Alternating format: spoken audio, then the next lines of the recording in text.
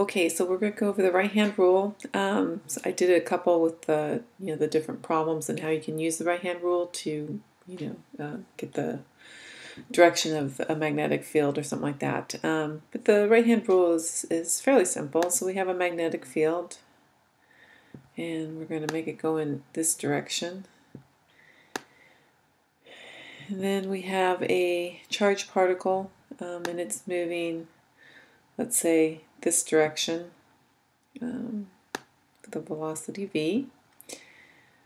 And we want to know what the direction of the force is. Um, so basically what you do is you're going to lay, uh, so this is the magnetic field, just so we know. Um, and this is the direction of the particle moving through the magnetic field uh, charged particle. So we're going to go with a positive charged particle to begin with. Um, and then the force will just be in the opposite direction if it's a negative. So you basically want to lay the palm of your hand down this way. Sorry, my drawings are not that great, but uh, so we have our the palm of our hand. I guess kind of like that, and this is the palm, and it faces up. And then we're going to orient, orientate. So the fingers are pointing in the direction of the magnetic field. So you have the magnetic field going this way and the fingers are going that way. Then we oriented our thumb so it goes in the same direction as the, um, the charged particle. And since this is a positive charged particle, um, uh, the palm here faces the direction of the force. Or you could curl these fingers up like I did in that video, you know, just at up at a 90 degree. Um, and so it, the force is coming out of the page.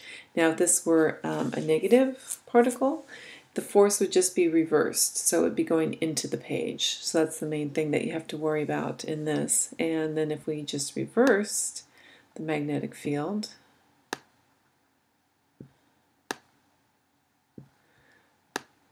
but our charged particle Um, so we would actually have